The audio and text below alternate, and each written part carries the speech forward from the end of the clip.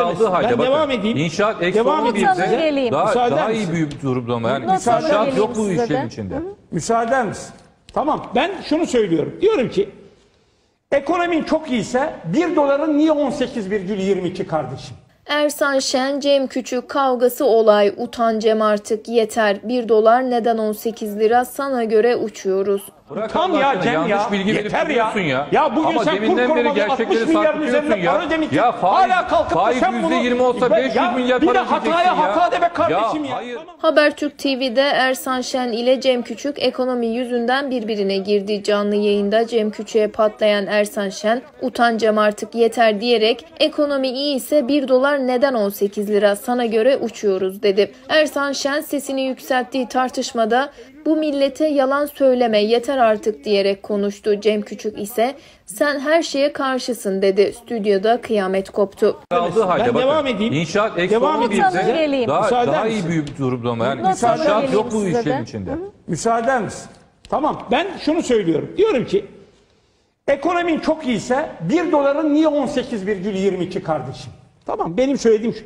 Kur korumalıya bu kadar ucu açık faiz ödemeye niye devam Ya ne ediyorsun? ucu açığı ya. Ucu Faizler açık ödüyorsun ya şu %17'lerde anda. Ya, Ya, bırak tam ya Cem ya. bilgi Yeter ya. ya. Ya bugün Ama sen kur deminden beri korumalı 60 gerçekleri milyarın saptırıyorsun üzerinde ya. para ödemek için Ya faiz, hala kalkıp faiz sen bunu- %20 olsa Ben- 500 ya milyar bir para hataya ödeyeceksin ya. hata de be kardeşim ya. hayır. Tamam bırak. Gerçek söyle ya. O zaman diyorum Niye gerçekleri söylemiyorsun?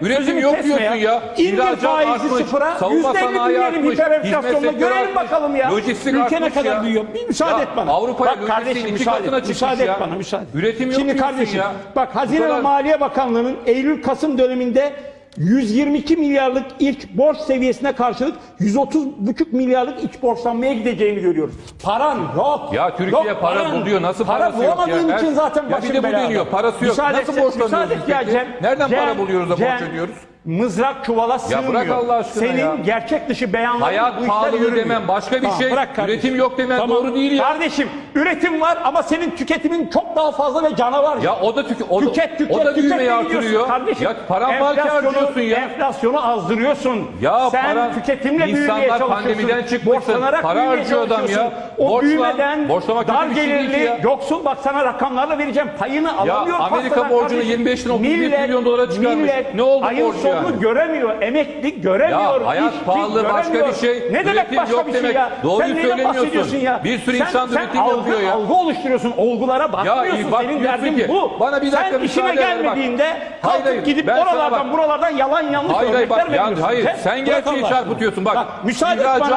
artmış, Şu sözümü bitirebilir miyim? sanayi artmış, Müsaade et.